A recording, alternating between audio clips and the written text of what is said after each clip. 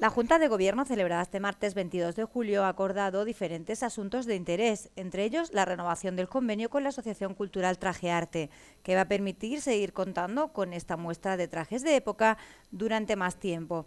Así lo ha dado a conocer el portavoz... que se han tratado la Junta de Gobierno local celebrada en el día de hoy. Como viene siendo habitual, se ha dado cuenta de aquellos anuncios publicados en los diferentes boletines oficiales tanto el Boletín Oficial de la Provincia como el Boletín Oficial del Estado y como el Diario Oficial de Extremadura, donde se informa a los miembros de la Comisión de Gobierno aquellos asuntos de interés para nuestra ciudad. En cuanto a asuntos que ha aprobado eh, la Junta de Gobierno, decir que ha aprobado la firma de, de un convenio con la Asociación Cultural Traje Arte para mostrar periódicamente en el Palacio Consistorial La Jabonera la colección Traje Arte, una colección que viene siendo ya habitual en nuestra localidad gracias al acuerdo con esta asociación y que los ciudadanos pueden disfrutar de esta estupenda colección de trajes en nuestra localidad. Ha cumplido el convenio que teníamos firmado por un año y lo que procedemos hoy es la continuidad de este convenio aprobado en el día de hoy por un importe de 3.000 euros anuales. Por lo tanto, el Gobierno sigue apostando por esta exposición de arte en nuestra localidad que eh, cada año los ciudadanos y ciudadanas pueden disfrutar en el Palacio Consistorial La Jaonera. Por otra parte, en esta Junta también se han aprobado las bases para la contratación de los monitores de las escuelas municipales de cultura. En concreto, indica Manuel Mejías, la selección, como es habitual, es por dos cursos, el 2014-2015 y 2015-2016. Manuel Mejías habla sobre las escuelas. Otro aspecto que también ha aprobado la Junta de Gobierno en el día de hoy son las bases para la contratación de monitores con destino a las escuelas municipales de cultura durante los cursos 2014 2015 y 2015 y 2016, es decir, para los próximos dos años. El objeto de la convocatoria es la selección de monitores para las escuelas de teatro, para las escuelas de danza folclórica, para las escuelas de artes plásticas, para las escuelas de inglés, restauración de muebles, de música y dentro de música para las categorías de piano, guitarra, canto y viento.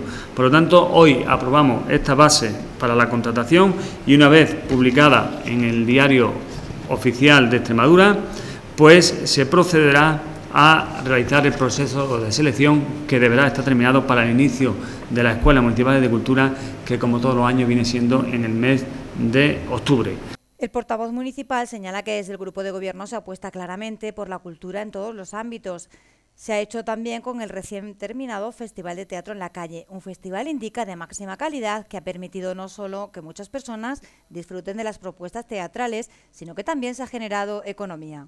Aspectos relacionados con la cultura en Villanueva de la Serena. Sabéis que el, el Gobierno de Villanueva de la Serena, uno de sus máximos objetivos es de seguir potenciando la cultura Hace pocos días se ha celebrado en nuestra localidad el Festival Internacional de Teatro en la Calle, que dentro de la austeridad que están practicando este ayuntamiento, pues se ha conseguido un festival de máxima calidad, lo que ha permitido que numerosas personas visiten nuestra localidad y que hayan sido más de 25.000 personas las que han visitado nuestra localidad para disfrutar del Festival Internacional de Teatro en la Calle una decimonovena edición, que son 19 años ya participando de este festival, lo que hace que está consolidado y que es un referente del teatro en nuestra comunidad autónoma.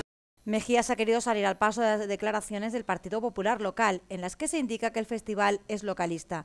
En este sentido, Manuel Mejías indica que el PP en los últimos cuatro años, con Manzano al frente, solo se ha dedicado a criticar lo bueno que sucede en la ciudad. Este tipo de declaraciones, añade Manuel Mejía, son fruto de la propia trayectoria de Manzano. Por esta razón, no va a volver a ser candidato. Por lo tanto, hay que eh, alegrarse de esta trayectoria del Festival Internacional de Teatro en la Calle, pero también hay que salir al paso de las declaraciones realizadas por el Partido Popular en el día de ayer.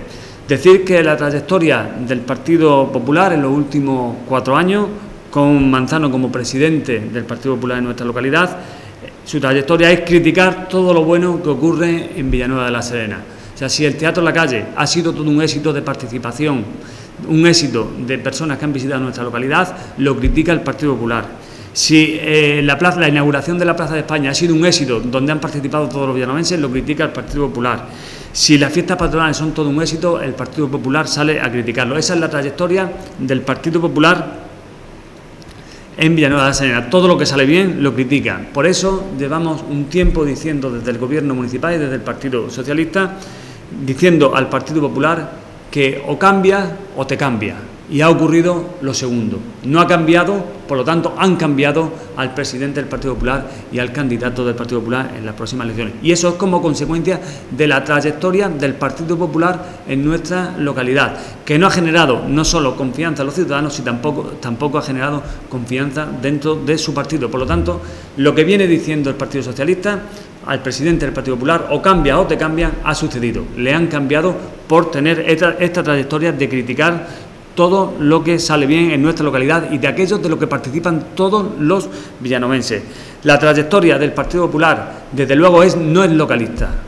Como, viene, como bien ha dicho el presidente del Partido Popular en su crítica al Festival Internacional de Teatro de la Calle. No, no es localista el Partido Popular porque su presidente no estuvo empadronado en la localidad de Villanueva Serena. Ahora buscan un nuevo presidente que no es de Villanueva de la Serena. Porque trabajaron para que el hospital no estuviera cerca de Villanueva y porque trabajaron para que se hiciera una ITV privada en otro municipio fuera de Villanueva de la Sena. Por lo tanto, esa es la trayectoria del Partido Popular en Villanueva de la Sena. Nos alegramos enormemente de los resultados del Festival Internacional de Teatro en la Calle.